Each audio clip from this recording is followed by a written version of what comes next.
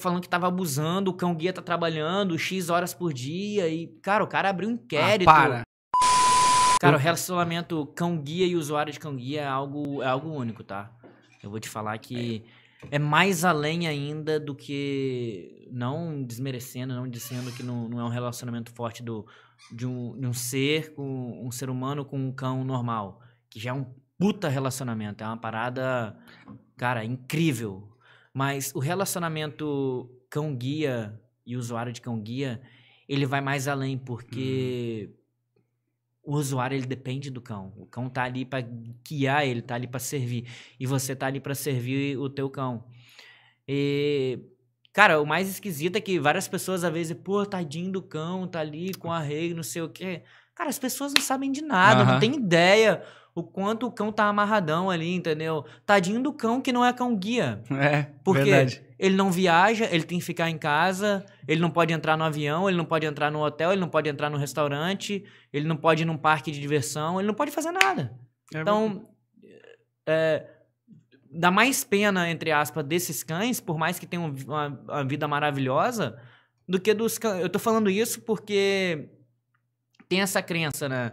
Tinha um, porra, um idiota aí, ele é até aqui de Santa Catarina, o cara fez a questão de fazer uma... Eu queria muito lembrar o nome dele agora pra falar. Ah, se a gente lembrar, a gente. Putz, cara, se alguém dá um Google aí que o cara fez um barulho... Bota imbecil com cachorro, sei lá, alguma coisa É, assim. não. cara, porra, é um jornalista aqui do Sul.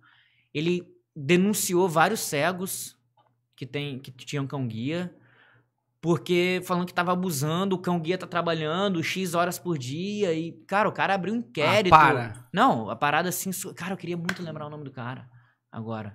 Ele É, quis abrir um inquérito e é entender que o cachorro tava infeliz com o trabalho dele, com a Sim, vida. e Ah, que para, o, o trabalho de cão guia era um trabalho abusivo. Isso que ele queria entregar para a sociedade, entendeu? Que o trabalho de cão guia era um trabalho extremamente abusivo e que as os usuários de cão guia tinham que ser punidos, tá? Eu não, não, não lembro o nome dele, eu não sei se é Luiz ou alguma coisa, mas é um jornalista conhecido. Ele é aqui. cego. Não, ele não é cego. É o tipo É, de coisa se de dá um pessoas Google aí, querendo. Jornalista é, fala é, mal do trabalho, fala que cão guia são. são Nós vamos dar um- nós vamos dar um Google, se Santa gente- Catarina. Se alguém é, tiver assistindo se é e de souber, Floripa, acho que é de Floripa. Alguém vai falar o nome do cara aqui. é, bota nos comentários pra então, gente poder ofender por que, que eu tô falando isso? Não tô falando que os cachorros que não são cão guia não são felizes. Pelo contrário, são super felizes, cara. Cachorro é algo. Eles têm muita felicidade. Mas eu tô falando isso pra mostrar que o cachorro que é cão guia, ele é privilegiado, que ele vai estar com o seu dono ali em tudo quanto é lugar. A Serena já viajou comigo por Portugal, Chile, Califórnia, Havaí, Las Vegas, já foi comigo pra tudo quanto é lugar. Então ela, ela tem esse privilégio.